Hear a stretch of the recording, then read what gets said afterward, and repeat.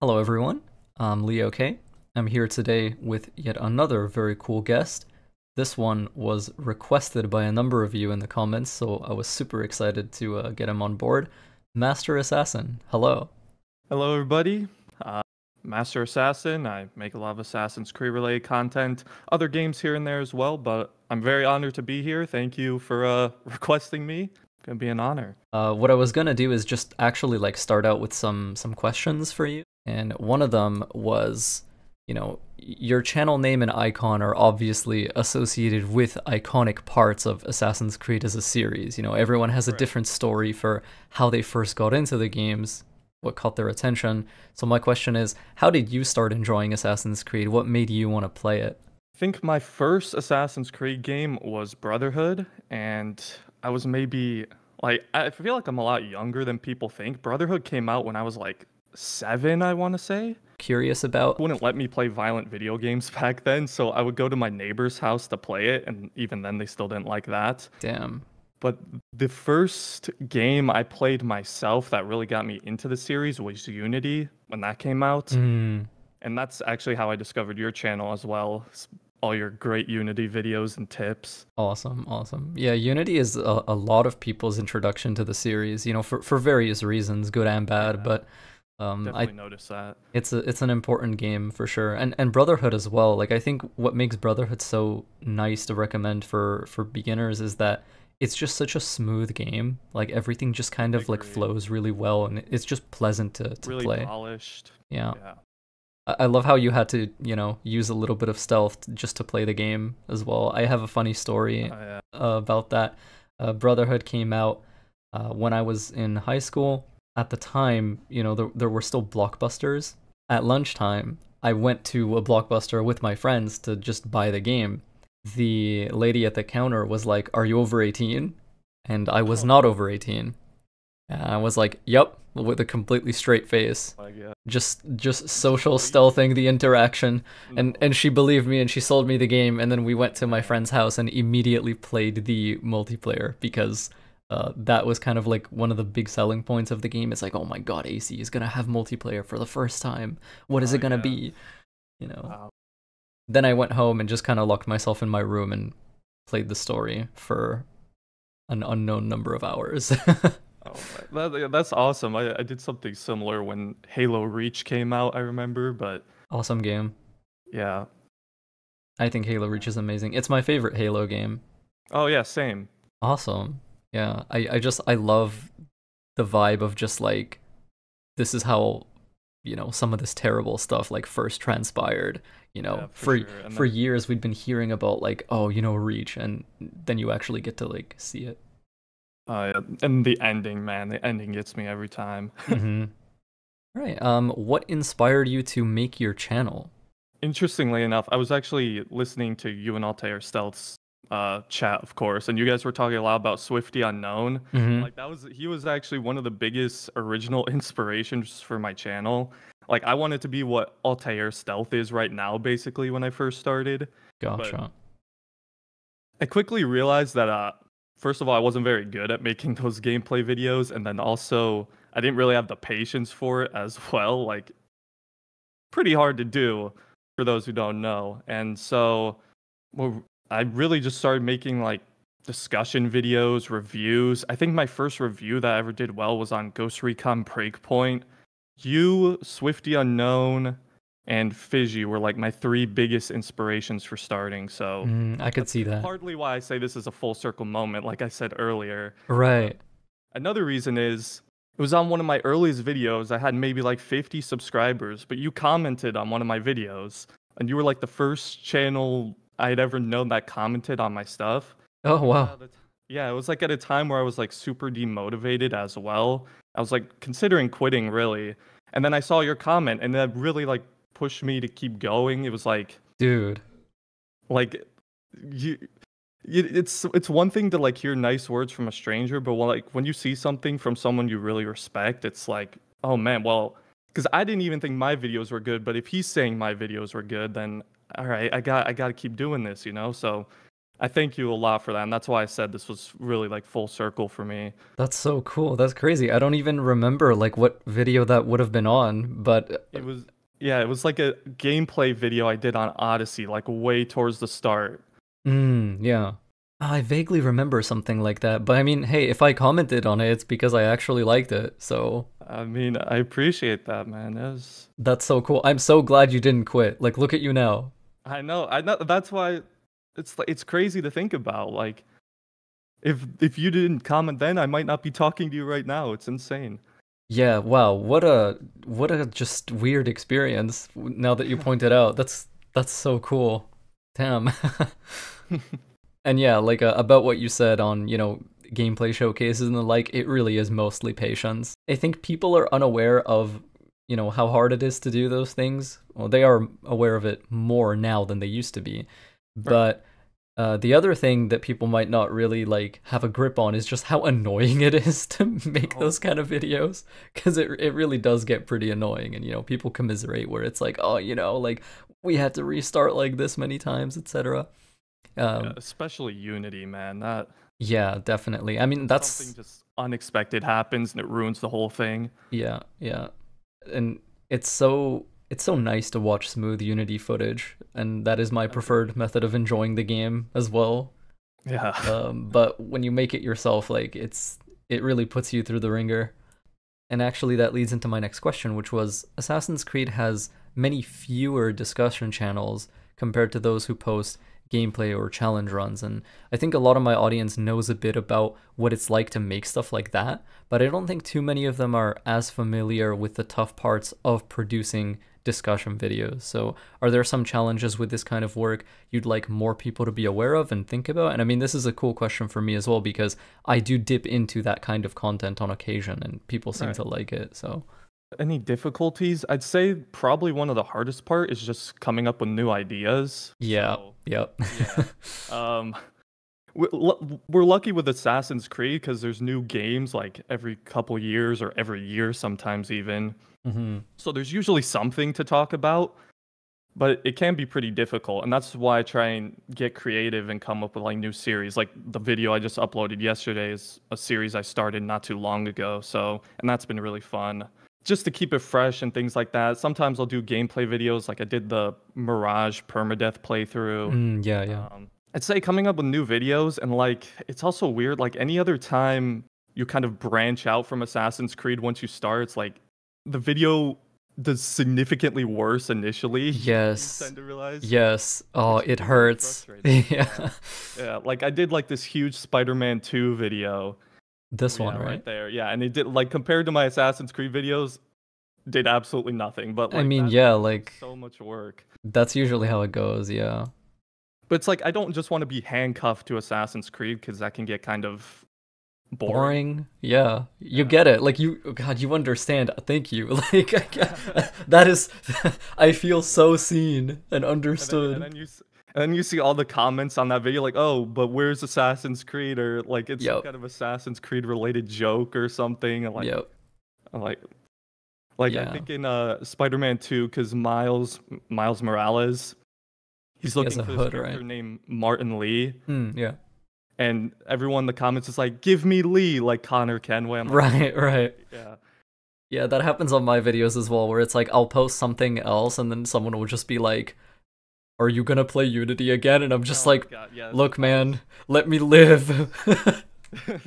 I was just, again, I was just listening to your your chat with Altair Stealth, and you were talking about that, which I thought was really funny. hmm I mean, uh, Especially, like, especially to I you. discovered your channel as well. I that's how your Unity videos is how I found you. So it's Yeah, just yeah. really funny to hear that. I think that's how most people found me, which you know does explain why there is such a fervor for like, hey, are you gonna play this again? Because it's like this is the reason you know people discovered me, and and that's what they found cool. But I mean, that kind of goes back to what you were saying, where like we're lucky that we get new games fairly regularly, but when it comes to people who mostly are just fans of Unity, like by itself, Yeah. then they do kind of expect content and releases like on that one game. And it's very hard to do that because at this point like I've done most of what I wanted to do with it.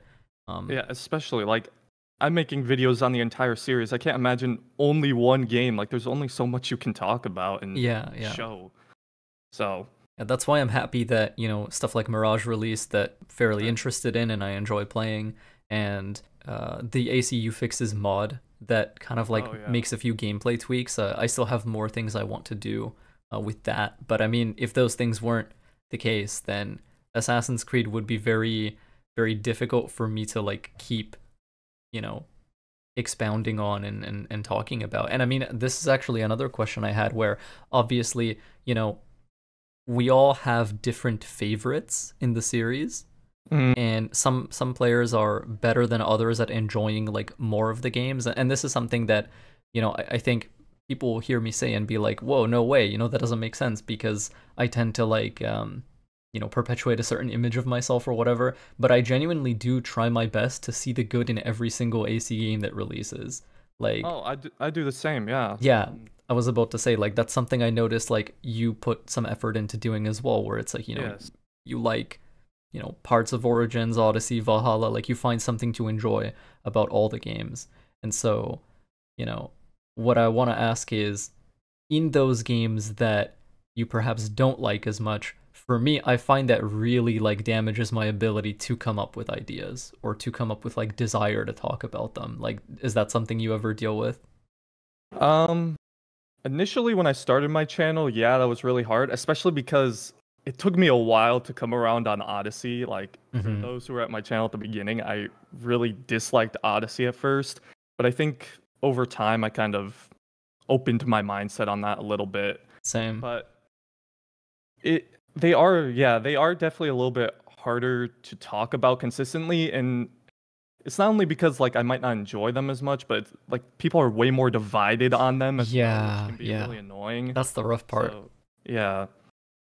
It's hard to kind of take a stance that everybody there's no stance that everybody will agree with, it feels like. So yeah, you definitely. just yeah um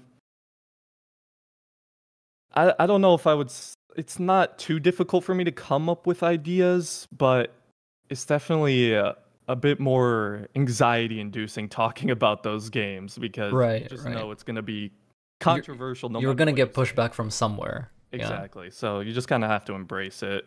Hmm That's uh, probably something that is a unique property of discussion content that you know pure gameplay content isn't really as subject to.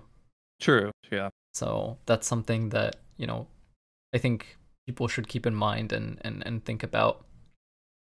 Every once in a while, I decide to try making new kinds of videos, new formats or styles that I haven't really had too much presence in or experience with, and it's always a bit tricky to figure out. And we touched on it, you know, a few minutes ago, but from scrolling your channel, you know, I get the feeling you have this tendency at times too, where you do come up with new ideas. You're not just doing the same expected formats, you know, you dip into Yeah. new concepts, new structures, you keep things fresh for yourself and the viewers. And even when it comes to just, you know, the opinion pieces that that you're known for and the discussion videos themselves, you come up with new ideas and angles for those fairly often, which I consider your most impressive skill. thank you Um, Just because, I mean, if you're someone who has tried to, you know, dip into discussion content or even consider it your main thing, like that is definitely one of the one of the hardest parts because it's like anyone can come up with ideas but very few people can come up with ideas that are actually going to catch attention and be interesting and worth exploring and i think people are not super aware of how hard that actually can be um, uh, yeah so how does that usually go for you? Like do you have any advice for creators who maybe want to do more of that but hesitate? Because I, I do know that there are a number of people who watch me that, you know, they maybe don't really want to do so much gameplay showcase stuff. They maybe want to do more opinion related things and they're not really sure how to like get a start in that. Yeah, so um my my advice so what I do cuz you know, I'm I upload quite frequently, so I have to Mhm. come up with videos very often. So I have like this entire Google Doc of just video video ideas. It's like hundreds of pages long at this point. There's stuff on there from years ago I still haven't done. And I just keep adding to it. Like sometimes ideas will just hit me so at the most random times like as I'm about to go to sleep is a great example. I'll Mhm. get like an idea in my head. I'm like, oh great, I gotta go write this down. So I think what really helps too is to put yourself in the eyes of a viewer. So like I think a lot. Um, if I were someone who really liked Assassin's Creed and was watching stuff, like what video would I want to watch? Mhm. So I think that's really helpful too. And uh yeah, just trying to brainstorm creative ideas and series like like two series I'm particularly proud of is like I, I try and play a game for as long as I can and then when I die it just abruptly ends. Yeah. That's been I really actually fun. love those. I think those are really, right, really yeah. cool.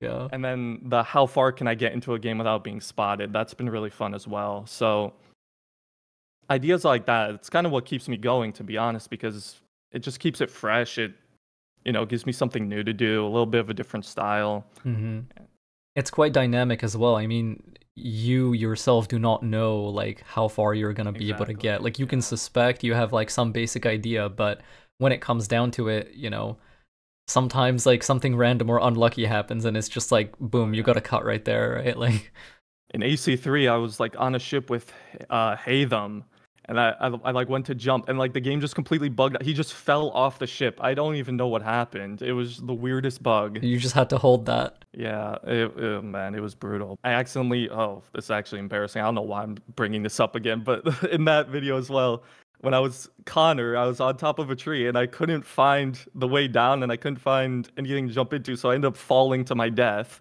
and that's how that ended. So Yeah, it, it's kind of it allows for a lot of uh, comedy in a sense as well, though. So definitely. I mean, we've all been victims of you know Assassin's Creed movement systems one way or another, wh- whether it's due to our own skill issue or the game just deciding like, hey, like I'm gonna mess with you today. it's just gonna take the wheel from you. Yep. Are there any games that you're looking forward to? I mean, one, or I guess two in particular, that are kind of the talk of the town nowadays. Uh, let's go with three even. So, Ghost of Tsushima is getting a PC port. Oh, That's super exciting for obvious reasons. one of my favorite games of all time. So Mine too. Yeah. Do you want to play uh, Legends together when when that releases on PC, the co-op Oh, I'm mode? down. Yeah, that'd be fun. Sick. Awesome. Uh, Rise of the Ronin and Dragon's Dogma 2 are both coming out like tomorrow, basically. T- technically, Dragon's Dogma 2 in like eight hours today. Uh, so Rise of the Ronin obviously has a lot of similarities to Assassin's Creed. You know, some people are calling it Team Ninja's AC fanfiction. I don't know if you have a PS5. Um, I do. okay, cool. So is is that a game that is like on your radar at all? Like, are you curious about it? It is. I've I've been watching videos on it and kind of keeping up with it. I don't think I'm gonna play it like off release. I might wait for like a sale or something, but yeah, yeah. it definitely looks interesting. Kind of like a almost like a Ghost of Tsushima Assassin's Creed hybrid in a sense. So Yeah. it looks pretty fun. I'm I mean, I'm not too sure. I haven't I don't know too much about it yet. I've kind of tried to keep the spoilers away and stuff, but Right.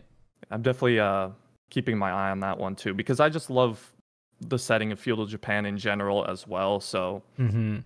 I like how more games from there. I like how there's, you know, more urbanization at that time period that the game is set in. There's more buildings, you know, you, you get a little grappling hook. There's more like a rooftop climbing and engagement and stuff like that. Stealth seems like a bigger deal than in Team Ninja's previous games. And you know, all that stuff obviously appeals to me. And then there's just the the premise of the setting kind of just seems like it, it fits like an AC-ish story super well uh, also because it's like it's set in a time when uh, Japan's borders were kind of forcibly opened by uh, Americans and this kind of like destabilizes everything and you know the the previous structures and, and social norms and everything begin to kind of change in, in a very like painful way. And uh, the player characters in the game because you create two one of them is yourself and one of them is what's called your blade twin I've and seen this, yeah. yeah like you have to like make a choice, right? On yeah which one do you play as and which one do you have to end up finding right which is kind of like a little bit of a cassandra alexios thing going on yeah, for sure. Kind of reminds me of Dishonored 2 as well. yeah yeah like whichever one you don't pick emily or corvo like they're petrified and then you have to like find your way back to them right Yep. Um, I think it's also really cool that like in the text of the game, you are assassins, you are silent Ah. killers. For sure. Just another game that's feels very Assassin's Creed, but it's not like quite in the universe, you know? So I'm definitely looking forward to it. I think the one thing that a lot of people have been talking about is like, you know, like the graphics don't look the best or the environments. Yeah, which- yeah. Which really is part of the much, course but- for Team Ninja as well. Yeah. But I mean, it still looks like a lot of fun. So I definitely want to check it out when it goes on sale or something like that. Yeah, was just curious to get your thoughts on it since like, you know, you do cover a lot of Assassin's Creed and the games obviously have quite a few similarities. So, Yeah.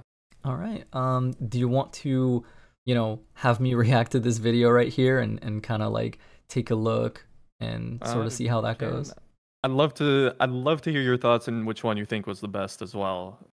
Go ahead and do this and I'll probably pause sometimes to like uh, talk about this Oh yeah, feel free. on occasion. It's been quite a few months since I made this type of video for Unity. A lot of you guys really seem to like that video and the concept though, so I figured let's do it again, but for Assassin's Creed Mirage. I actually wanted to make this video closer to when the game came out, but I got really busy and I wanted to give people time to learn the mechanics some more and all the cool tricks you can do so we can get some artful submissions. But like last time, I sent out a community post about a week and a half ago asking you guys to send me your best Assassin's Creed Mirage stealth clips with the requirement that they be 60 seconds at the maximum and be stealth focused. I didn't get any submissions of a guy just throwing coins around this time, probably oh because you can't do that in Mirage. I'll have them numbered 1 through 5 to make it a bit easier as well. But with all that out of the way, I already know I, I I have a deep respect for whoever submitted that because that was a one two and you know how I feel about those. that's me. That's all me right there. oh, okay. We so haven't gotten into the clips yet. Yeah. so you are kicking ass already. Thank you. Thank you. Okay, let's get into the first clip.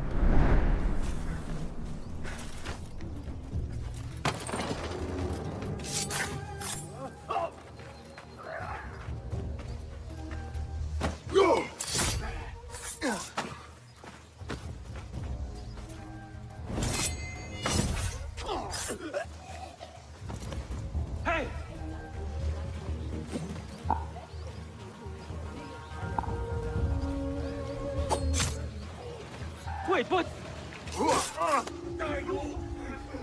nice.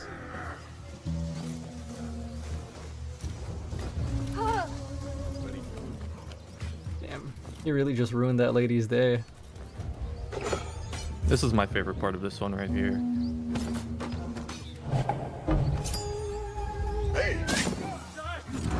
Oh, nice. Clean. Yeah, that's really sick. Yeah, I thought that was a great one as well, just to kind of like introduce everything, start things off, kind of s- smooth run, smooth mission. I know a lot of people enjoy um, making showcase content and making stealth clips of that specific mission. You know, I see it quite often for good reason.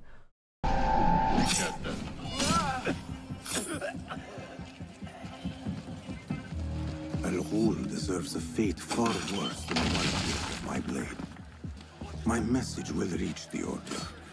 Loud and clear. That's pretty sick. Taban, I need to flee. Of that cover animation as well. hmm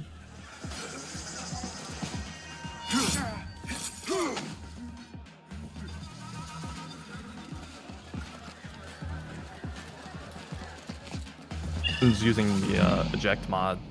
Ooh, yeah, that makes sense. Yeah,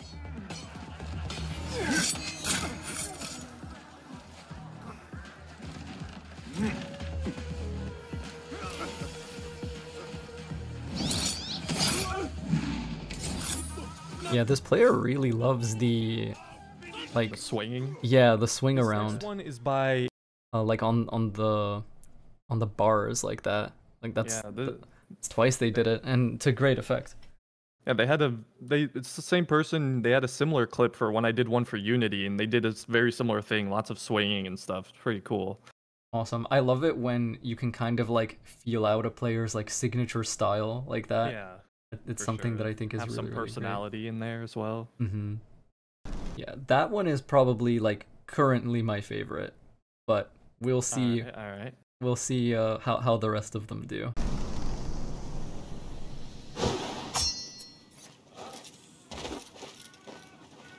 Oh, fire knife. Okay, so this player is a bit of a pyromancer. Clearly, yes. It's cool though. He was the only person all the submissions I got who used a torch, so I had some respect for him on that. yeah. God, lots of explosives, lots of flames. Oh, that's pretty sick. It's in the haystack like that.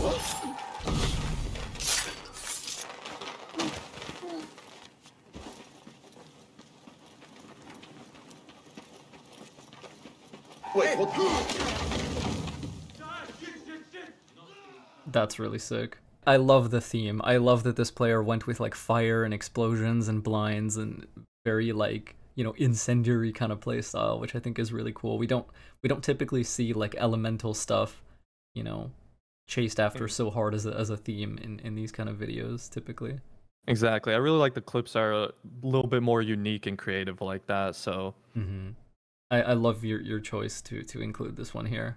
Um, I I hope this doesn't happen with every single one where I'm like, this one is my favorite. Now this one is my is this favorite. your, is this your new favorite? This is my new favorite. yeah. Oh, all right, all right.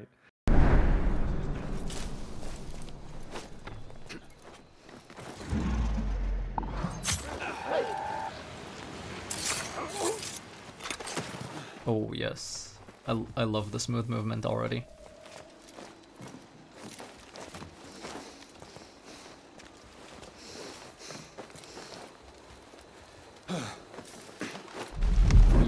Yo, I okay. think cool. I think that's so cool that you can do stuff like that in this game. Yeah, it just lets you. Like that is awesome. Okay, I like this player a lot. They're using focus the way I, I always like talked about pre-release, where it's like you use it as a movement tool or to like interrupt Exactly. movements. Getting around very quickly.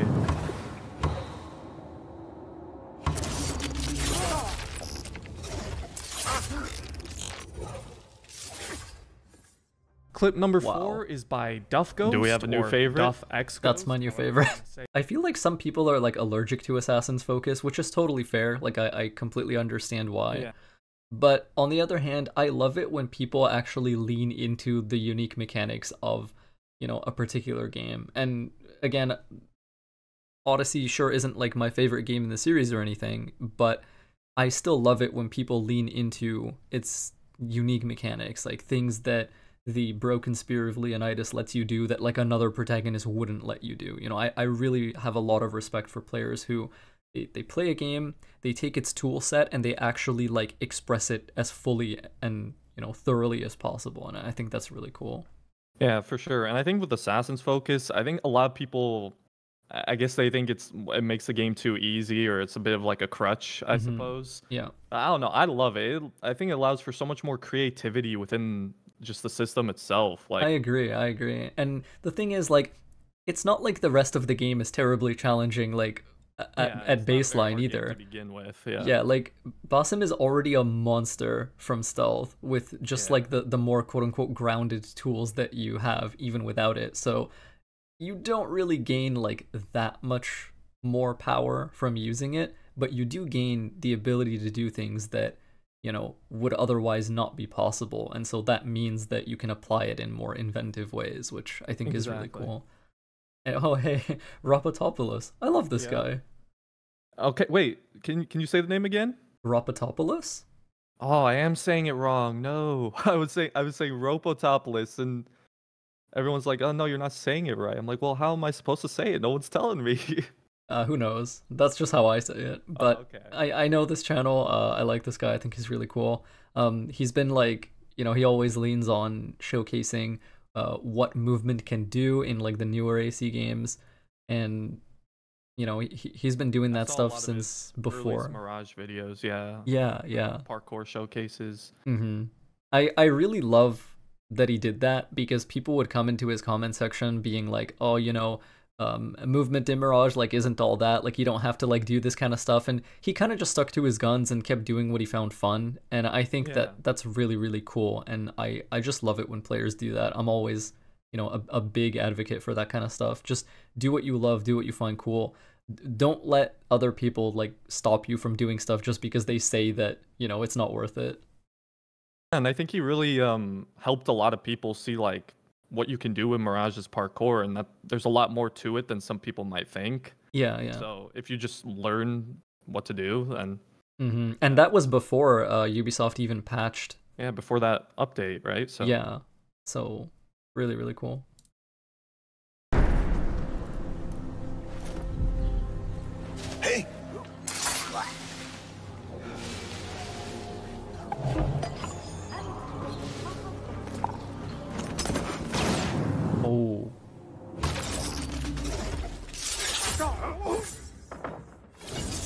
that is really interesting okay look movement already wow that pops okay it's this is the one it has to be like come on look at this we're not even halfway in.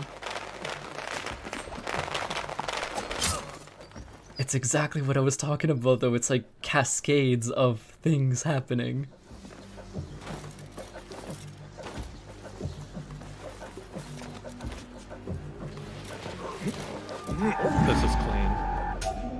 This is clean. Oh, yes. Oh, yes. Okay, when it's getting reactions like that out of me. And finally, Oh. at number five, we have Ropotopolis. Still not sure if I'm pronouncing your name right, but from what you said on the last video, it seems like I'm close enough. Some of you may remember him from the Unity video as well. He actually came quite close to winning that video too, and he's back again with a vengeance here in Mirage. This is so I've seen sick. a lot more of his videos since Mirage has come out, and he was definitely cooking with this run. First of all, I love the sheer number of kills you get in such a short span of time. There's clearly lots of planning and setup that went into Yeah. this, like with throwing down the trap at the beginning. Like with the other clips, I really like the aerial throwing knife kills and your use of assassin's focus. I appreciate you trying to fit as many kills into the one minute time span as you possibly could. You, my friend, are a true assassin, and I thank you once again for submitting. But that is Okay. so- Before you say what the best one was, yeah, I I'll definitely like take this time to just talk about which one was my favorite.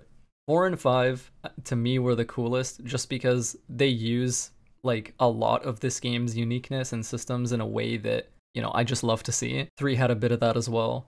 I always love when people use focus to move in ways that like shouldn't be possible and that's fundamentally like my favorite thing about that mechanic is that it lets you like break movement in a way that you know allows you to engage with the space in more creative ways especially if you plan ahead which like these clips obviously did. But number 5 like the most recent one we saw is, is just so cerebral. Like you can tell that he thought about what he was doing the whole time. He he set up everything. The setup and payoff is unbelievably strong in 5 and yet completely agree. like there's no there's no negative effect on that on the flow. Because it's actually really hard to do that. Like a lot of the time even like when i'm making clips like these i either get you know cool setup and payoff or i get cool flow and it's Right. very tough to kind of combine those two together but this clip clearly does that and it it's so cool like so much happens so quickly that there's even like you know the the red arrow we see like kind of making sure people don't miss like the pop Yeah. right like so yeah for for that reason I, I think this one is is amazing So on that, I actually have a question for you, if you don't mind. okay So when, for those of you that make gameplay videos, where do you, how do you first come up with like, if, like, like he threw down a trap the beginning? Like, how do you come up with setups like that? Do you plan it in your head beforehand? Do you just kind of play around with it first and find something cool? What, what's kind of the process like for that? So a lot of the time, and everyone has a different uh, method, so I can't really like speak for everyone, but just for myself, for example, a lot of the time for me when it comes to making gameplay videos or gameplay showcases, the way um, the kind of building blocks of each video come alive is as a result of problem solving. So basically, as I play, I start out by just being like, I want to kill all these guards as quickly as possible without like I don't even start out trying to make it look good. I start out trying to not make it look bad. And, Ah. and so as I play, like I'm trying to avoid situations where my movement kind of jitters out or like looks weird or I get stuck on something. Obviously, leg detection, unless it's for an intentional reason, like is not allowed. You know, that's kind of how I start. And so as I go through this iteratively, because you know you you play it many many times to try to like hammer it down, um, I run into situations where I'm like, oh, I don't end up taking this guard out, and you know how do I include him in the rest of the sequence? And so that is when ideas like, hey, maybe I can put this trap down here, kind of start Ah, okay. kind of tickling the mind and being like, maybe I can solve this problem in this way. And I don't know if other people approach it that way, but that's definitely how it is for me because you need a baseline, you need something to start with. And then the other Yeah. thing is, if I watch back my own clip, uh, once you've already made it, you know, uh, part of the reason these take so much time is because some people do actually like sit on it for a bit and they give it some time to breathe. They rewatch it once it's kind of out of their mind, and on a rewatch, on a review, you kind of notice opportunities for like, hey, what if I did this here? Like, could I do this here instead? And I then see. you know that that's kind of how these things uh, arise. So it, it's more it's a more natural and organic process for me than um, than it might at first appear. Like n- not everything is planned out. Like some amount, like most of it arises from can I do this or you know you experience something where the game kind of fights you or the clip you're trying to make fights you and then it's like how do I solve this problem? How do I answer this question? Um. Wow. All right. That's really cool. Thank. Thank you for answering that.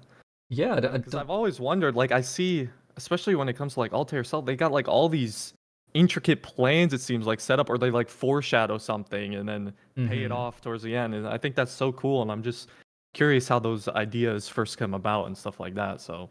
Thank you. yeah, I, I kind of wish I had asked Altair Stealth like how he does his stuff, but um, I yeah, because that that's actually such a great question because that's what it is for me. I mean, and I'm actually a player who is uh, less uh, amazing at the kind of setup and payoff stuff that you see some of these people do.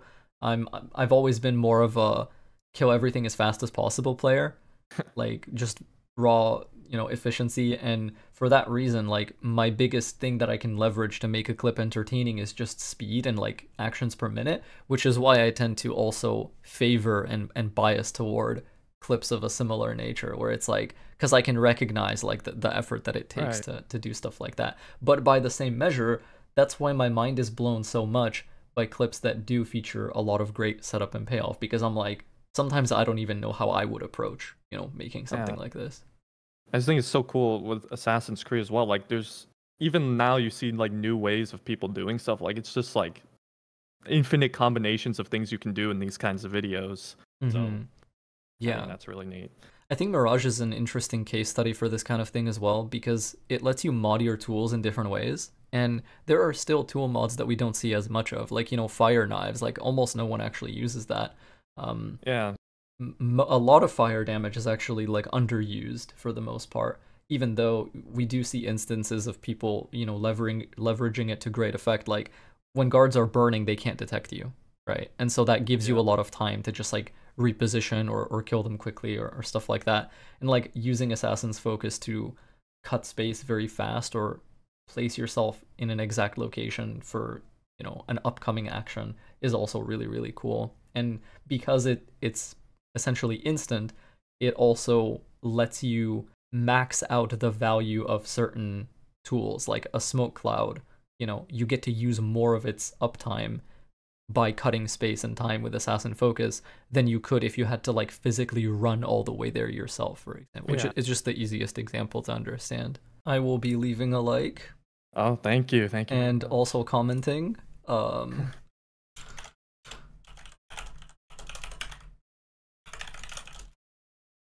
meanwhile i'm just like did i spell that right?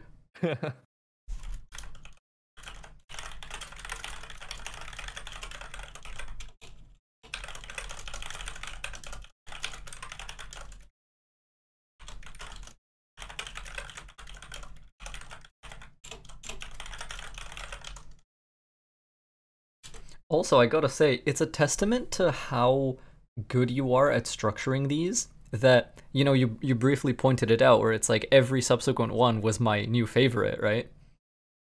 I uh, think that is something that you did amazing at because Oh, thank you. that that's pretty much exactly what you what you want from a video like this where like you watch it and then you see the next one and it's like wow that was even cooler and then you see the next one and it's like wow that was even cooler Yeah. right and so Yeah. f- for it to you know keep eliciting that response from me over and over just means that you know you ordered these clips with great intention and i think it turned out really great Thank you. And of course, all the credit goes to the people who sent me the clips, of course. Um, definitely yeah this player base has some really really skilled and, and just like entertaining you know recorders of content and creators of content definitely. Yeah.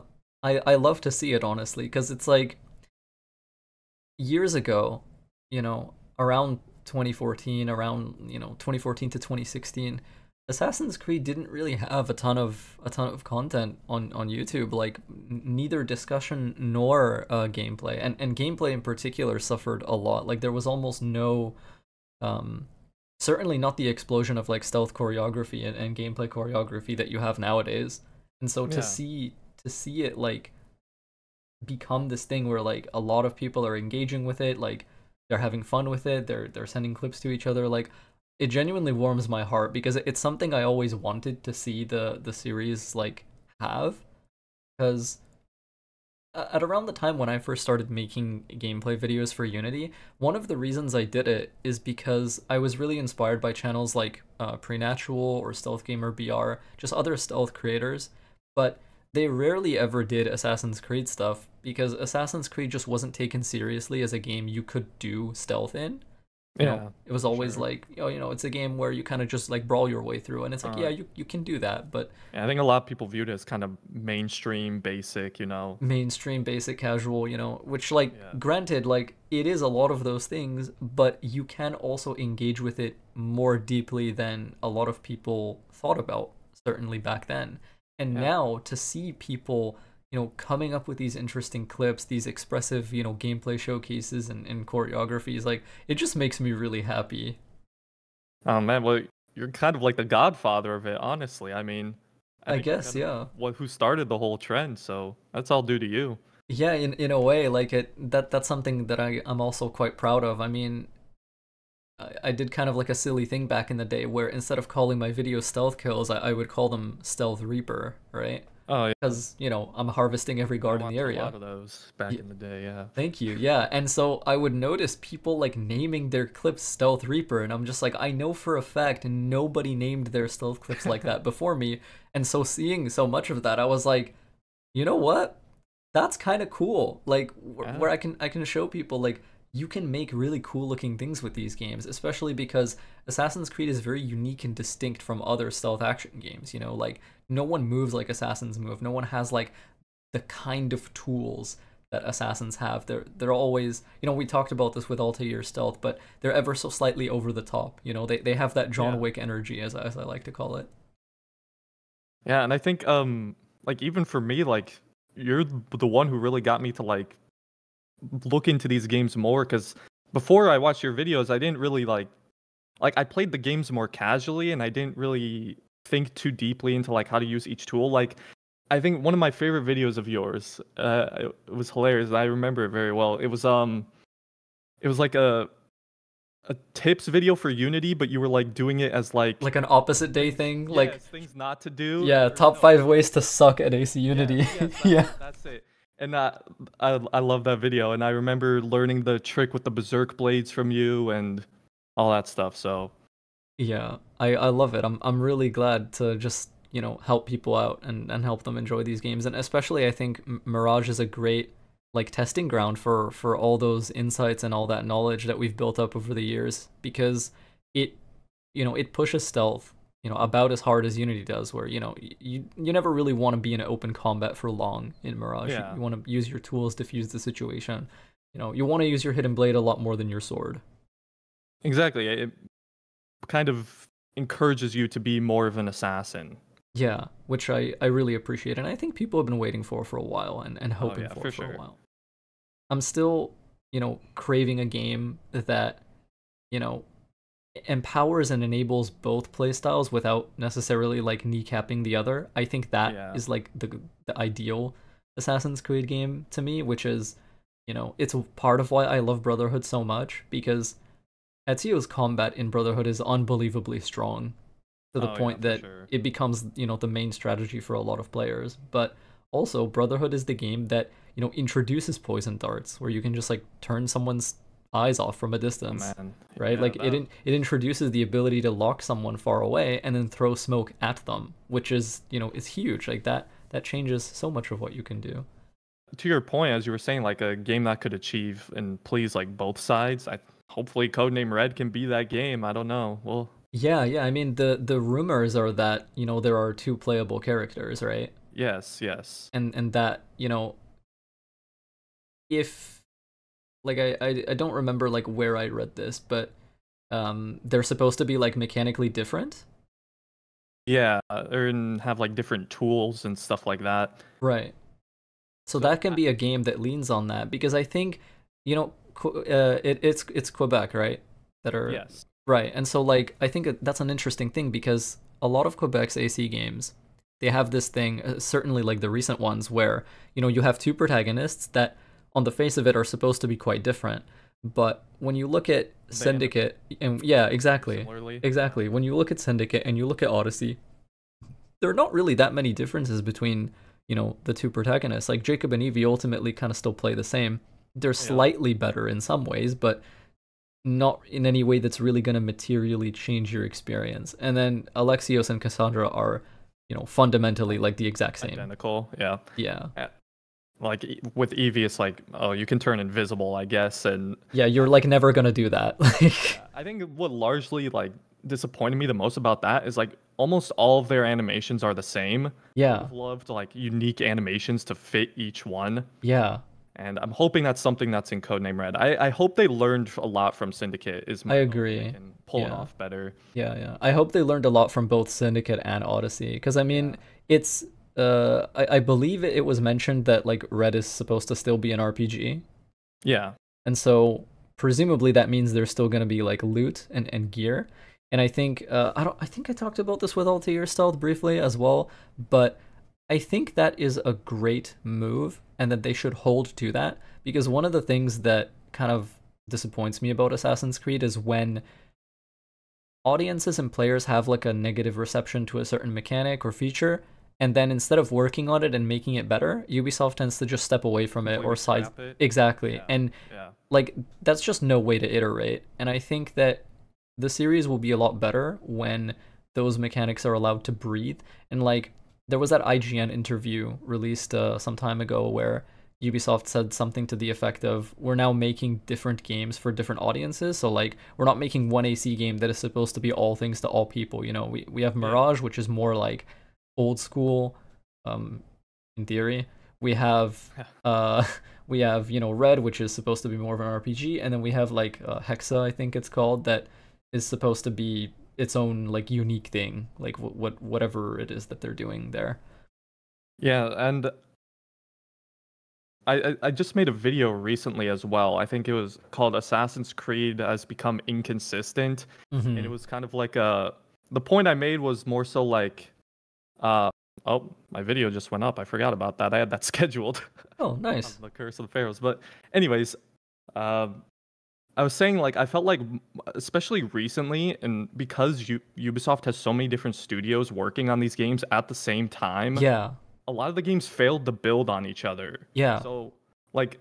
There are things I really liked in Origins that weren't in Odyssey. There were things I liked in Odyssey that weren't in Valhalla, or even Yeah. things in Origins that weren't in Valhalla. yeah Like I think the hood toggle was such a perfect example of like, why is that not? That yeah should- why did you take that out Exactly. You already had what people wanted. Why did you mess with it, you know? So it's just weird. Like they overcorrect sometimes, I think, and it just yeah, I don't know.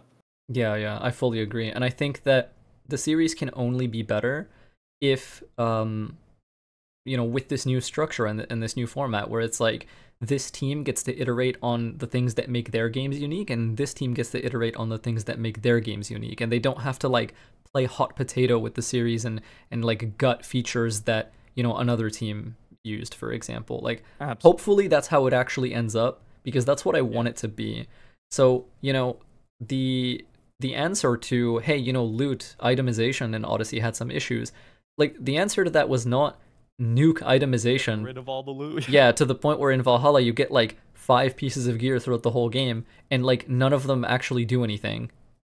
Yeah. Right? Like that was not the answer to that. The answer to that was iterate on this system and improve its downsides and, you know, make it feel less punishing to players who wanted to play a certain way. And hopefully like Red does that and, you know, leans on that and and doesn't do the thing where it's like let's just get rid of the stuff that, you know, that almost worked cuz that's the thing like a lot of these things they're not like fundamentally like broken or or incompatible with the series. They just almost worked. They almost fit. And so I agree, yeah. like imagine how cool and how great AC could be if each game and each like studio's game was allowed to iterate on those like almost great aspects. Exactly. And like another series I've been really into lately, like Resident Evil. I love yes. Just, yes. they build on each other every time. Like if Assassin's Creed could be that, right now we'd have like an insane Assassin's Creed game, I think, because we keep building from, you know, Unity or Syndicate or even the origins and everything. yeah. But too often they overcorrect or take feedback the wrong way. Yeah, that happens a lot. I appreciate that they I like I appreciate them listening to the feedback from Valhalla, but I think they misunderstood what exactly the problems were I agree. people were uh, complaining about, Yeah. like with the loot like you mentioned, or like social stealth and how they brought that in, but it wasn't really like very involved with the game much at all. Yeah, you could safely ignore it for like 99% of the Yeah. experience and you wouldn't be hurt at all. Exactly. So I think, and and I think a lot of that too, like, because they have so many different studios, it's much easier to build on your own work. If it's different people trying to, like, I think this is really obvious to me with like Unity and Syndicate, right? Yeah, yeah. Because Quebec did something completely different. Like, they made some good improvements from Unity, but then there's other changes they made where you're just like, why?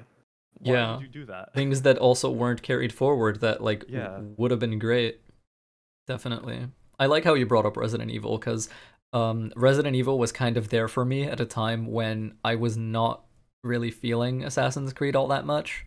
Uh, And kind of the same for me, honestly, but Yeah, and I think that it's kind of funny. Like, it's a series I recommend a lot of Assassin's Creed players try out because there are some unexpected similarities between them. I mean, especially like in in the early RE games, like early in the timeline. I mean, you're fighting against a, a mega corporation that has a stupid amount of control in in the city it's based in, and um, I think I make this comparison a lot, but the feelings that you get from planning out your route through a room or, you know, an expedition out from a safe room are very similar in my head to the feelings I get when I plan and execute a cool stealth chain in an AC game. Because both Resident Evil and Assassin's Creed lean heavily on using items to like get yourself advantages you would otherwise not have. It's just that the tuning of those is, is quite different. I mean, Assassin's Creed lets you throw items out like candy, and then Yeah. Resident Evil is like that's not so much the case. you gotta pick and choose the best moments to use it. Yeah. yeah, And do you enjoy uh, the RE4 remake? I did. Yeah, I, I, I liked it quite a lot. I, I do think that, um, unlike the other games, it, it gets a little rough. Like the higher you push the difficulty, I think like some of the systems in the game do fall apart a little bit when you do that. Yeah. But the game itself was was amazing. I, I really liked it.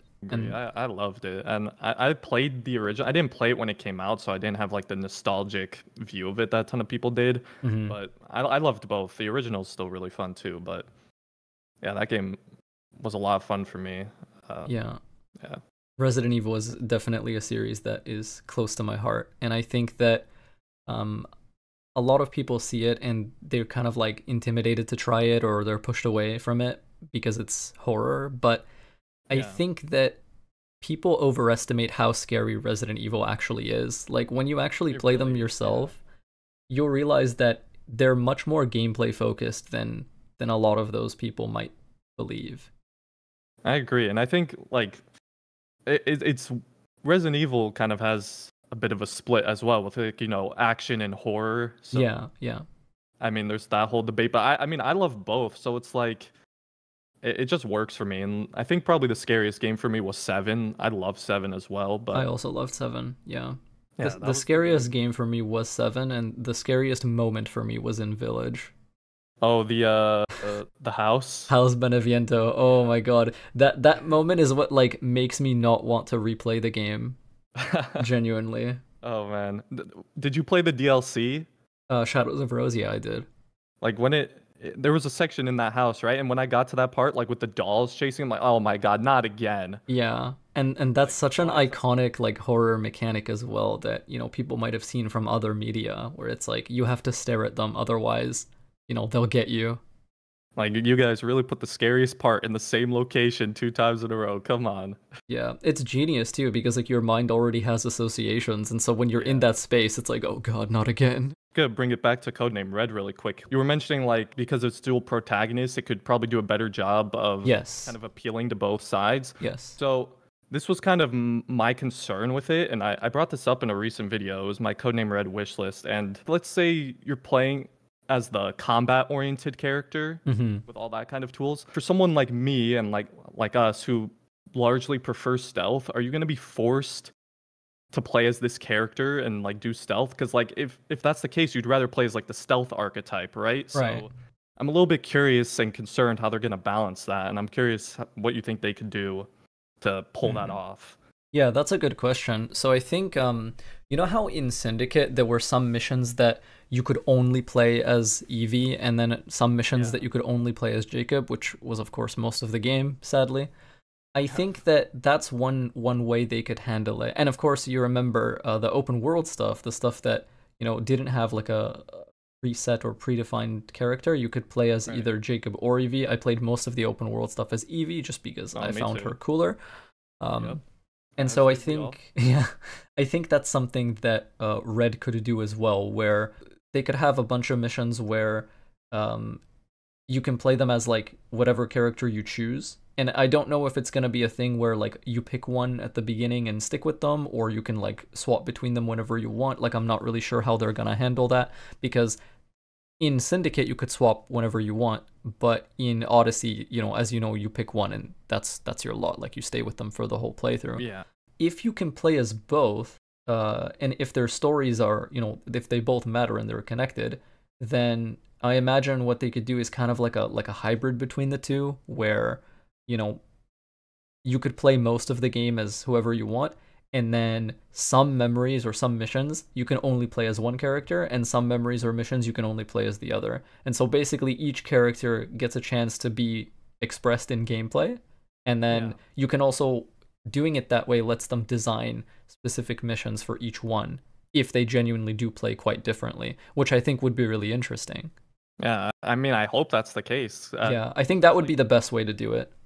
Yeah, I agree. And like if they were just the same again, like Jacob and Evie, it'd just be like, well, what's the point of having two different characters? Yeah, exactly. I think everyone would be disappointed. Yeah. Yeah, and the current leak right now from like the concept of the story, it's like Yeah, I haven't kept They- up with it. What what is it? yeah, here I'll fill you in. Uh, So it's that they're gonna start the game as both characters are gonna start the game as enemies. Oh, interesting. Yeah, and because they're like from rival clans or something like that. Okay. And then over the course, they're gonna become allies to help unify Japan and, uh, you know, fight injustice and all that. And I'm curious how the assassins are gonna fit into that as well. But Yeah, I yeah. think it's a really interesting concept. Yeah, that kind of makes some sense. I mean, uh when you think about it just like super like off the top of my head, like if there's a character who's more stealth heavy and a character who's more combat heavy, maybe the reason they're opposite factions is because, you know, one is more Templar associated and one is more assassin associated. And then through coming together they realize actually like we need to you know, it could almost be like a better iteration on Unity's concept where it's like we sort of have to work together Right. to like prevent this country from falling into like destruction or whatever. That would be so cool, actually. Yeah, if they did something like that, I think like that would be really cool. I, I would enjoy that a lot. Yeah, and are you aware of like the leaks for what they're doing to stealth as well? Have you heard those? Uh, not that much. I, I just know that like apparently you can you can lie down, like you can go prone. Oh yeah, yeah. There's gonna be prone in tall grass apparently, and they're having like kind of like Splinter Cell almost, where you can like distinguish light sources to hide Oh. in darkness and stuff like that. That's yeah. cool. See, Yeah, I think I mean, that's something that was probably interesting to a lot of people, you know, if, if they do keep up with leaks and rumors and the like, because you wouldn't expect, you know, just from Quebec's previous games for stealth to be such a, you know, focus Exactly. for them. And yet here we are. Like if, if it's if it's real and if it's true, like that would be really cool. I, I think that would be very appreciated by a lot of people. Yeah, and my hope is because I think a lot of people's like biggest complaints or issues with Odyssey was stealth. Mm-hmm. So I'm hoping they heard that feedback and they're like, all right, that's gonna be like our main area for improvement here. Right. And I mean, if those leaks are true, that sounds like a pretty cool way to do it. So yeah, I hope that ends up working out. Yeah, like the biggest criticisms like around Odyssey were stealth doesn't always feel rewarding. Um, it didn't really feel like too connected to Assassin's Creed's like vibes as a story, Yeah. and uh, you know, loot had some problems where you were just constantly like the loot grind was basically too heavy and, and too present, and you were in menus a lot. And so Mhm. if they address those those points, I think that there is a chance that this becomes like a quite a good game, even for people who are kind of like Odyssey haters, as it were. Yeah, and I, I think something that could be really beneficial to it, and I know you're a big Ghost of Tsushima fan as well, so Definitely. I'm, I'm hoping to have something like the lethal difficulty from that game, Oh yes. where you have less health, enemies have less health, or you do more damage, enemies do more damage. Yeah, 'cause yeah. I think like the damage sponge kind of combat from Odyssey really turns a lot of people off. So Yeah, yeah. I think something like that could be so great for Assassin's Creed. It would be awesome to see. I feel the same. I mean, I, I've talked about this so many times. Like, what is my ideal AC combat system? It's basically lethal from Ghost of Tsushima, where Yeah. you do a lot of damage and enemies also hit you really hard. Because nowadays we never, and I mean, we never really have gotten to express the the glass cannon archetype and playstyle in Assassin's Creed. Like, not really when you think about it. I think the closest to that we ever got was like AC1 because you could counter everything with a hidden blade and it would die instantly, but Altair doesn't have a ton of sync himself. yeah. And then, you know, uh, Brotherhood where you're just so lethal and so fluid, you just carve through like an entire swarm of 16 guys with your hidden blades Mm. and they all just drop like flies, right? But, Yeah. you know, in Brotherhood you can stack so much HP that basically nothing can threaten you realistically. so I think it would be really cool to see something like that. And it, it fits like the Assassin's Creed vibe and fantasy so much. Like I think part of the reason I, I so strongly push for this kind of tuning and this kind of difficulty is that it would make the gameplay that we see in these games edge a little closer to what the cinematics look like. Like when you see yeah. like cinematic trailers or you know stuff like that, the assassin doesn't eat like a bunch of hits typically. Like they just kind of smoothly Mhm. cut through their enemies without being touched. And so when you actually play the game, like you would want players to behave in, in a way similar to that, but most of the series doesn't really work that way. Uh, I think it would just make it a lot more, not only realistic, but you know, more immersive, more grounded. And yeah.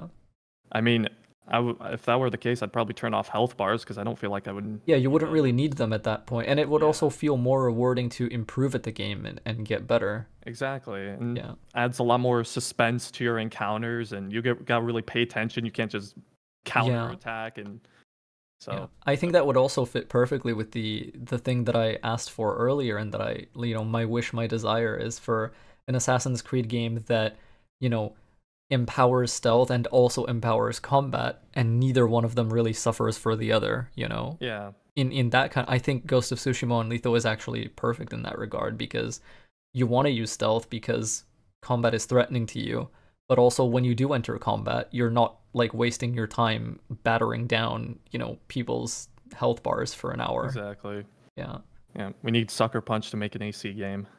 yeah I mean uh apparently Ghost of Tsushima 2 will be announced at some point and hopefully we see Oh, yeah, more I've been hearing about urbanization and more buildings and more stuff like that in that I think that could be cool because Sucker Punch are not strangers to creating cityscapes. You know, the Infamous series Yeah. that they did, like they they were full of that and and you know, Infamous uh around the time it was releasing around the time of like AC1, AC2, AC Brotherhood, like Infamous already had a bunch of like parkour you could do on buildings and stuff and you could climb your way up buildings. So, you know, they they have experience making stuff like that, so it could be really cool.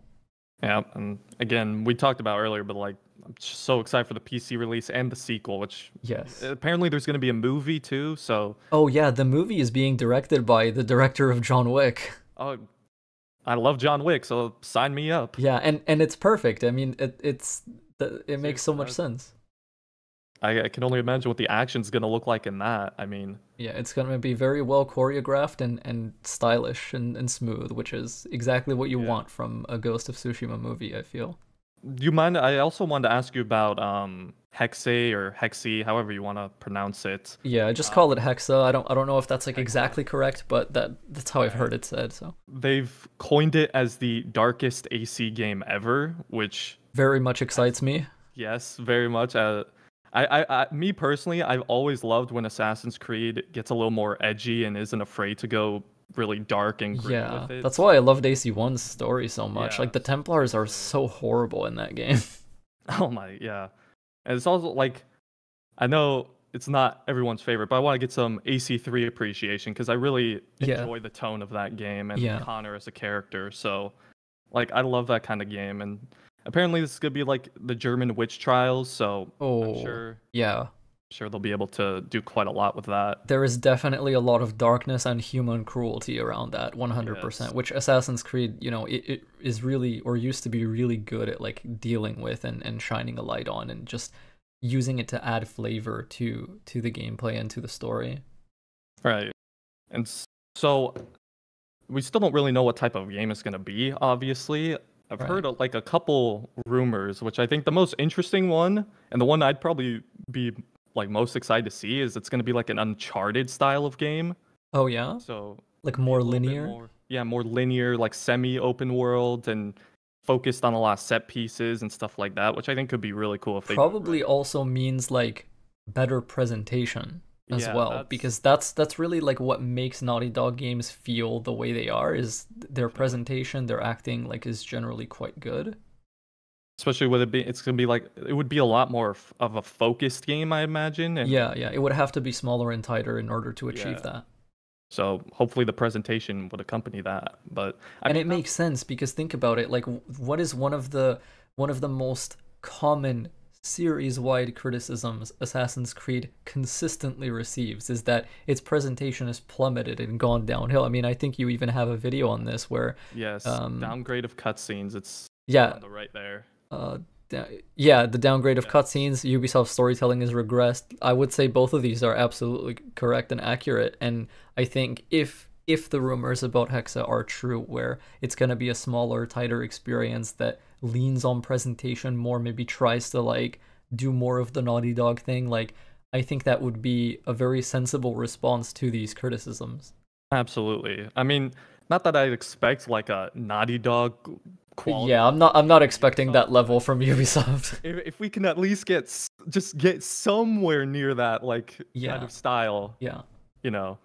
And also like it's also very exciting because you know like Darby McDevitt's writing the story for the game. So I'm like, okay, I got a lot of faith in this. Yeah.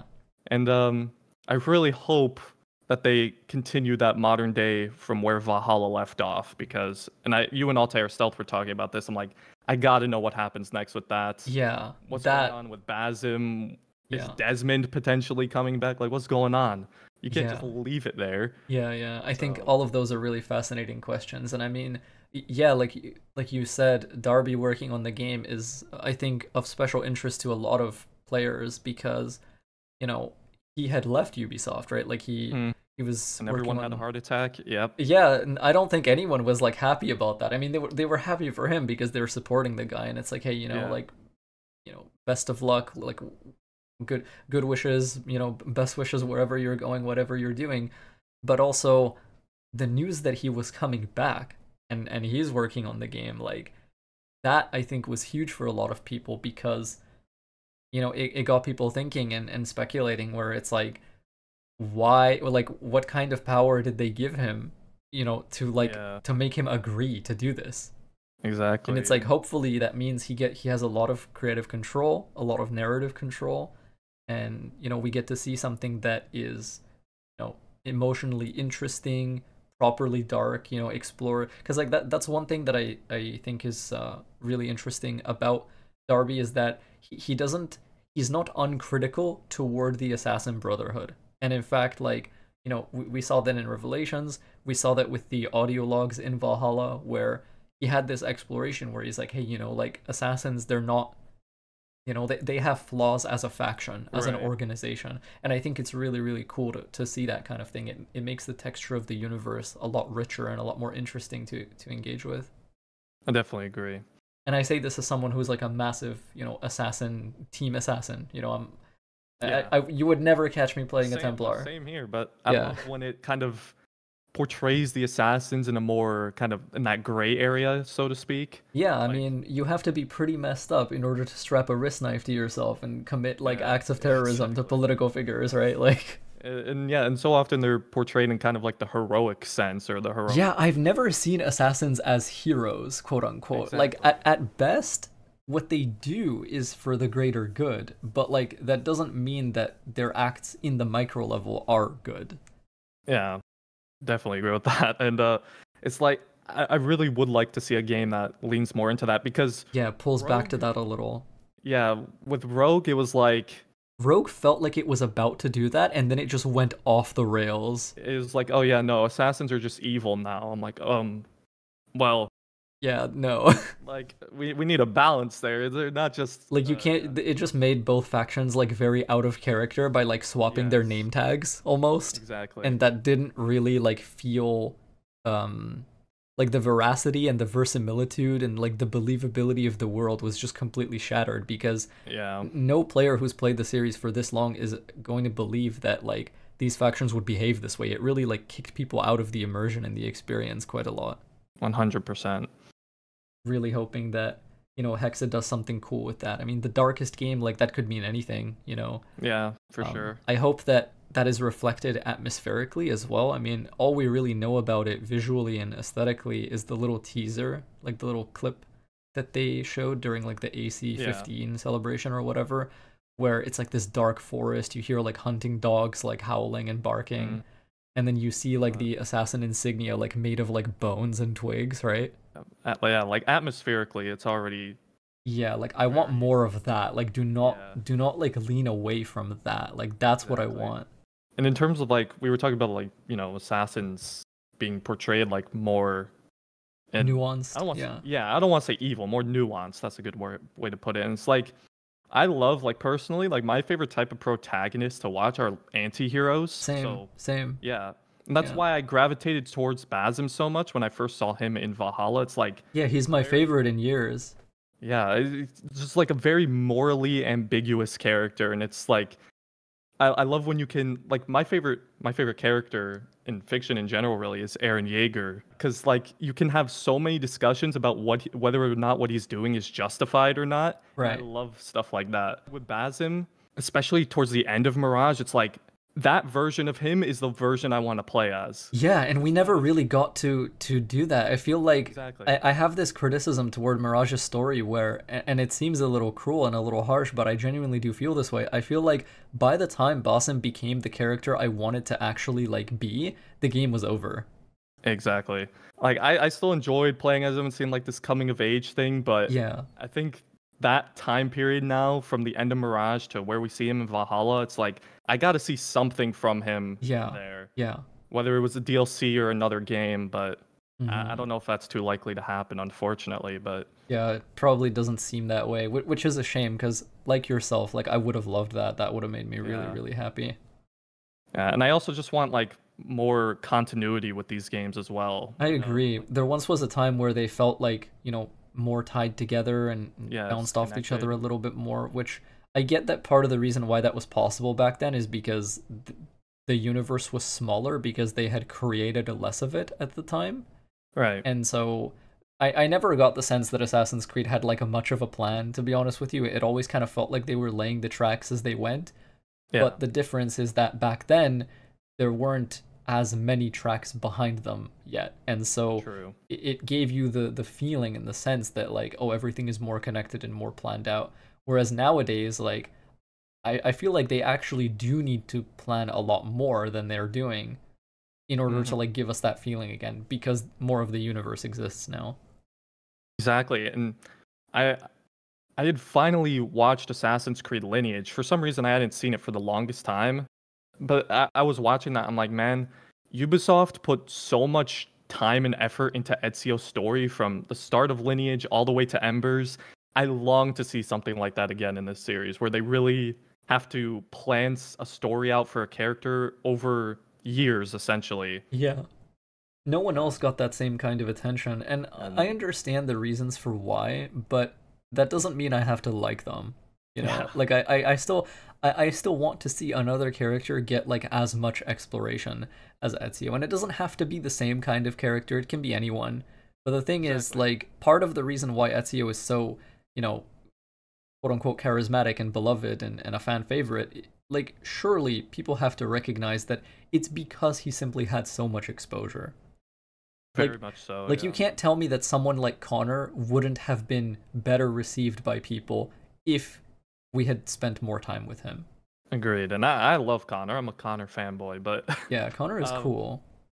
Exactly. He's got this uh like a lot of people had a I think one of my favorite things that I've watched from AC is Noah Watts' interview with Loomer, mm-hmm. the Assassin Den podcast. Yeah, he yeah. talked about how he was kind of channeling Altair and like his kind of cold stoic uh delivery yeah because he felt that's how an assassin should sound and talk and i love that and I, yeah. to me that's like when that's what i think about when i think of assassins it's like a very ruthless kind of cold precise killer yeah yeah so yeah and so and then also like that cinematic trailer was just one of the most badass things I'd ever seen when I first saw it. So yo, the way he like sweeps aside the guy's oh coat God. to reveal the Templar cross, like oh. yes.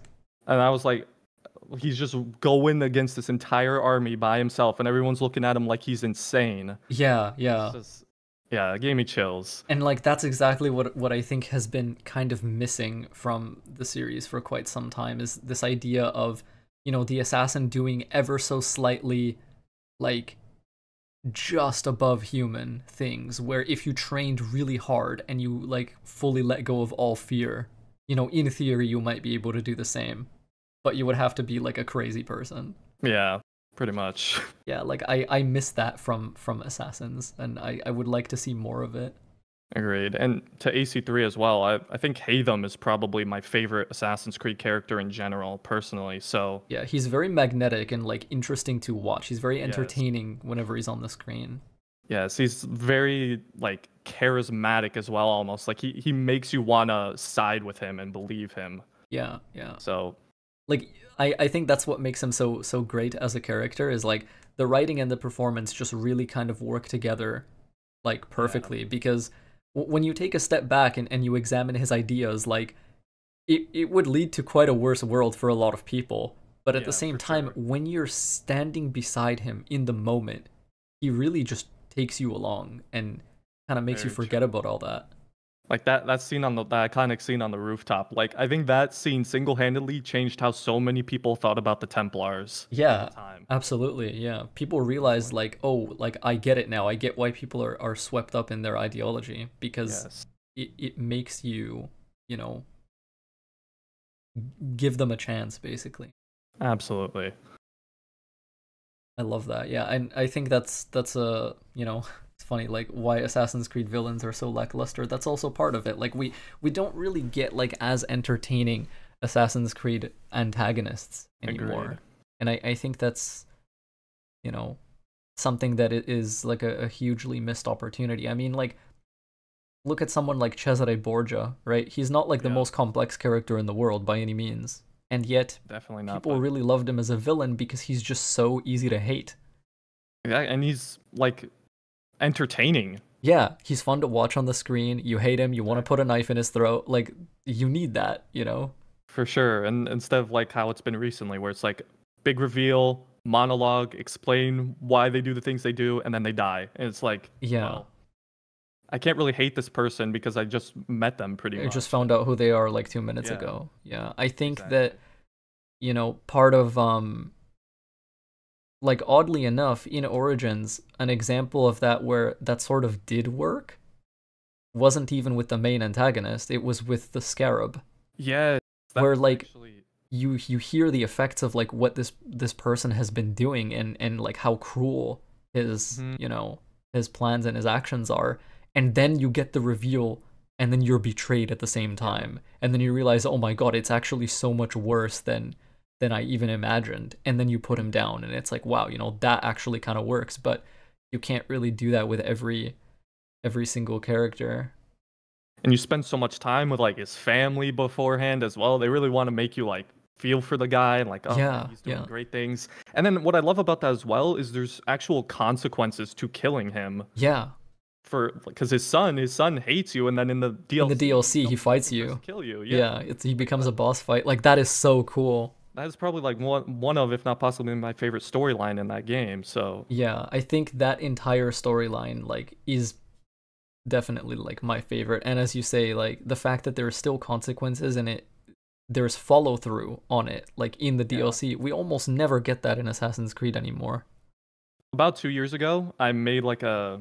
It's probably one of my favorite videos I've ever made. It's a game basically with Arno, Connor, Shay, and Aveline. I called it Assassin's Creed Vengeance. Basically, what I did is I wrote an entire script for that potential game that could have happened because I felt like when those games were coming out, that's what it felt like it was building towards to me, right? Yeah, yeah, especially coming off the back of the Ezio trilogy, which did have that kind of interconnected vibe.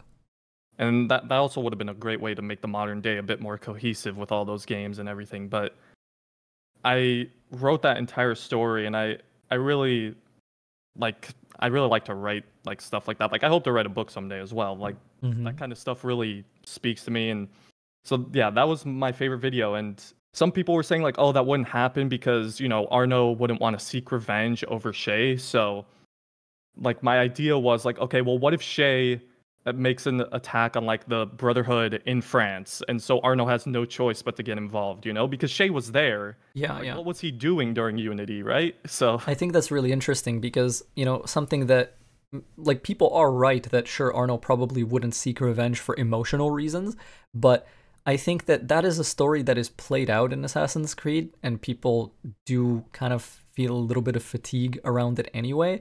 And so there are other reasons to seek revenge and there are other reasons to be in conflict with an enemy than um than emotional ones.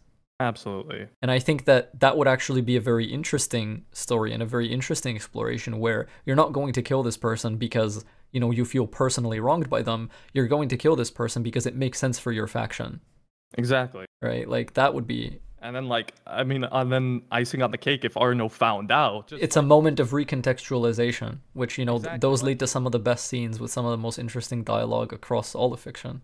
Definitely. And he may not like seek vengeance, but he's definitely going to feel a certain type of way about finding out this guy killed his dad. Like, Right. so yeah, I think that could have been so cool. That's like one of the biggest missed opportunities in the series for me personally is like just something with all of them. It could have worked so well, I feel like. Yeah, they could also have interesting dialogue because, you know, Shay is someone who felt betrayed by the Assassin Brotherhood, and there were times when, you know, there there are seeds of that in Arno's as well. You know, like he- Yeah. there are moments where he also kind of felt thrown under the bus, also felt kind of betrayed by them. I mean, Yeah, he was exiled as well. he was exiled, right? Like they they have that in common. Bellec, you know, made moves to like harm Elise, right? Which Yep. obviously like Arno did not love. you know, there's the moment where Shay has to kind of like kill Hope as well, which you could kind of tell like he, he really didn't want to do it, like even more so than the others. Like there was that Yeah, that was definitely the one that hit him the worst. yeah. I mean, like I, the game doesn't have my favorite story, but it has moments that hit pretty well for me. And you know, when he's killing Hope, he's like, "I can't do this," and she's like, "I trained you to do this." Like that, that just hurts. You know, like Yeah. And like that, that that's just proof that there was like seeds of something really great in Rogue that the execution was a little bit off on. But mhm. I think uh and like also with Connor and Shay, that would be super interesting. They both basically had the same mentor in Achilles as well. yeah, so and they became like- such different people. exactly. It's almost like this kind of like Star Wars situation, right? So where it's like, oh, that's my old master and the apprentice and everything like that. I just think that would be so cool. So Yeah, yeah. A, a lot of great room for tension there where, you know, Shay is like, you don't know what he was really like, right? yeah. And what's really interesting is like in AC3, Achilles clearly has a lot of guilt over the Mm. events of Rogue. and the way he trained and raised Connor was quite different as a result of that. And so then Connor could kind of, you know, clap back in his own way where he's like, yeah, but you don't know what he was like near the end, you know, like he was not the same man you remember. Like there's there's a lot of cool opportunities for stuff like that. even even Connor comes to terms like in his deleted monologue, which I wish they kept in the game because I felt like it showed so much growth from him. Yeah. it was like his realization that the world's not as black and white as he thought. Like it's not as simple as doing the right thing and everything will work out. Yeah, like the the path ahead is shrouded in darkness, but I must walk it nonetheless, right? Exactly, and he's kind of because he's very naive through a lot of the game, but that kind of he kind of realizes like what Haytham was saying to him hmm was actually justifiable in a sense. So, yeah, I just think that dynamic would be so interesting. What what one was Unity and Rogue were ten years ago almost already, so I don't see them doing it now. But pretty much exactly 10 years ago, 2014, right? yeah, so like November maybe, right? So Yeah. I I feel like the series is very quick to move on from its characters. At the same time, like it still tries. Assassin's Creed, even though it moves on from its protagonists way too quickly, inadvertently still makes its universe feel quite small because everything always has to be about a piece of Eden. Everything always has to be about like this or that, where it's like sure, we often don't get to see stories in different settings that kind of just are what they are, right? mm-hmm. And I Yeah. think that, you know, that's why, you know, a, a lot of people are speculating, like, for example, what is Hexa going to do? Like, is it going to be, you know, because it's about, like, witches and witchcraft, right? Like, to, to some extent. And so instantly people's minds jump to, well, there's probably a piece of Eden involved. Because if you read the uh, the Assassin's Creed Assassins or Uprising comic series, uh, there is a a story in those comics that's about uh, the witch trials in in Salem, like in in the U.S. And so there, you know, I believe a piece of Eden is briefly involved, or or at least someone with the abilities of one. Um, yeah, I could definitely see them doing that. Um, And so to me though, I'm I'm like I actually don't want pieces of Eden involved in Hexa if if possible. Just because I feel like we see it so much. We see it all the time to the point where in, in Valhalla it almost hit its like boiling point where by the end of that game's uh, title updates, Eivor had collected like you know five or six pieces of Eden like across across the land, and it's like, you know what? It's getting a little ridiculous. Like Yeah, th- uh, these are supposed to be ultra rare, you know, very very like scarce objects that have like unholy power, right? Like Uh, like perfect example i literally just made a video on curse of the pharaohs and origins but the apple of eden is like a huge plot in that plot point in that game as well it's like Yeah, it's- it's the cause of stumbled on it everything. so many times yeah. like what like he's fo- found it like two or three different times if you include the base game as well so Yeah, it Yeah, just it really the stretches the smaller. believability. Exactly, yeah. yeah And so if they, you know, for Hexa, whatever they decide to do with it, like that is my personal, like, you know, one of my bullet points, one of my wish list points, where it's like, I hope that they kind of err away from just making the explanation for everything a piece of Eden did it, right right? Uh, you don't even really necessarily need it in the story either like it could you could make a very engaging entertaining story without it it's Yeah. not necessary Yeah. I, I think that people are just like they don't o- o- obviously like with something like witches for example like the the first word people think of is magic and then like that immediately puts them on edge and on Yeah. guard where it's like you know magic doesn't exist in Assassin's Creed which like it does not.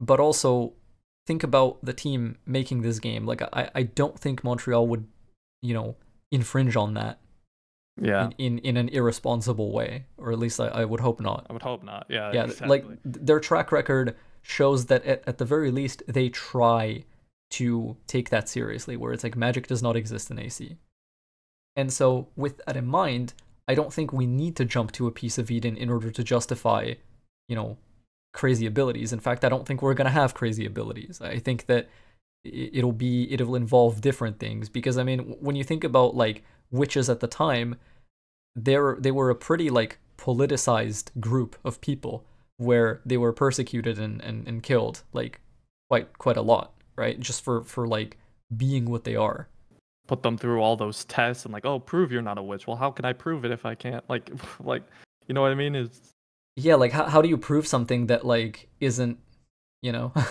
yeah, it's like, oh well, if you don't drown here, we'll know you're not. If you don't, if you don't drown, we'll know you're a witch. Well, if I drown, I die. So it's like, yeah, really cool deal you're giving me here. Yeah.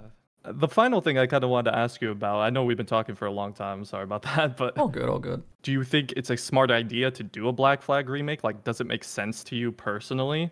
And then also, what do you think they would change, and what would you change about Black Flag? If I'm looking at it from like Ubisoft's POV, it's absolutely a smart idea to do a Black Flag remake. Yes. Like from their perspective, I can easily see why they would do that. And the reason for that is, and, I, and I've talked about this before several times, is that Black Flag is like in quotation marks the best Assassin's Creed game. Mm-hmm, in the selling. yeah, in the sense that it is it is you know one of the most successful games in the whole series, if not the most successful, you know by by several metrics.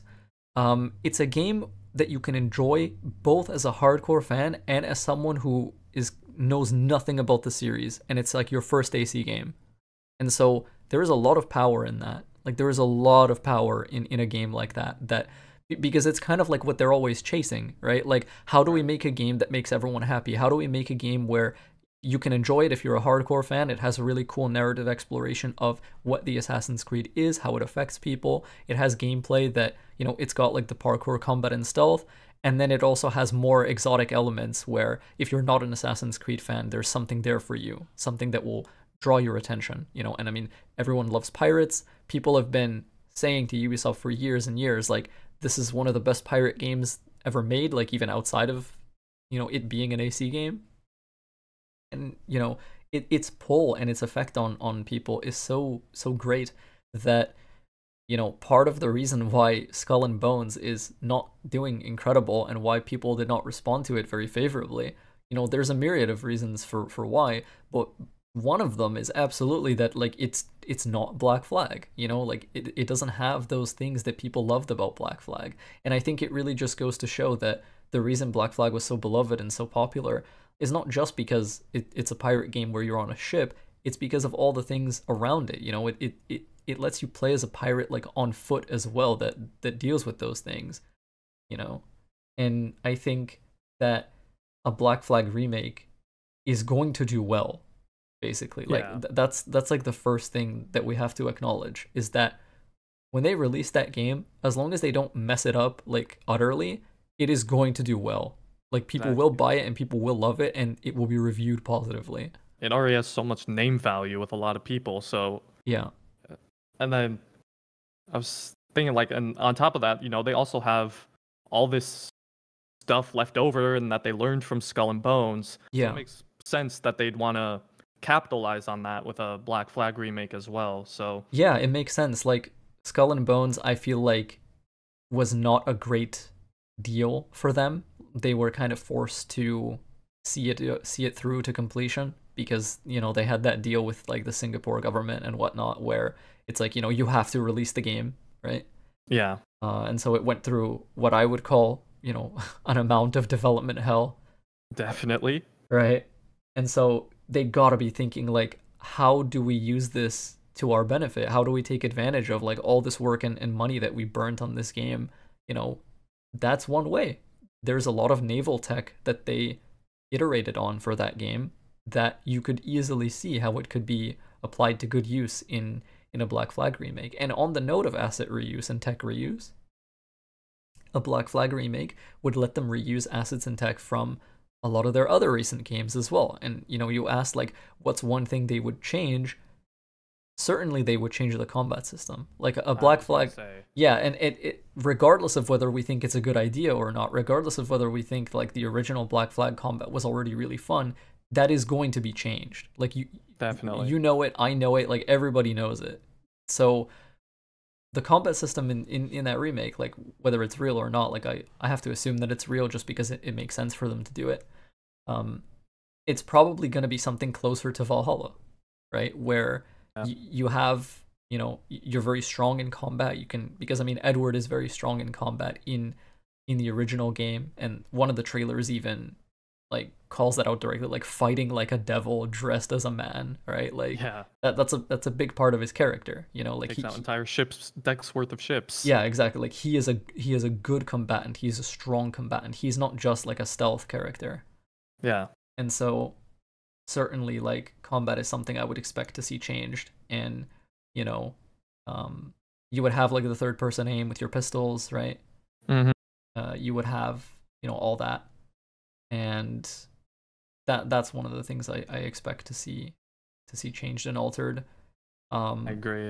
probably they would use a lot of the naval tech from Skull and Bones, and other than that, like they would probably take advantage of their their world streaming tech, where in Black Flag in the original game, when you went to a major city, The uh, loading screens. yeah, you would zone into it after a loading screen. So that that probably wouldn't be a thing anymore.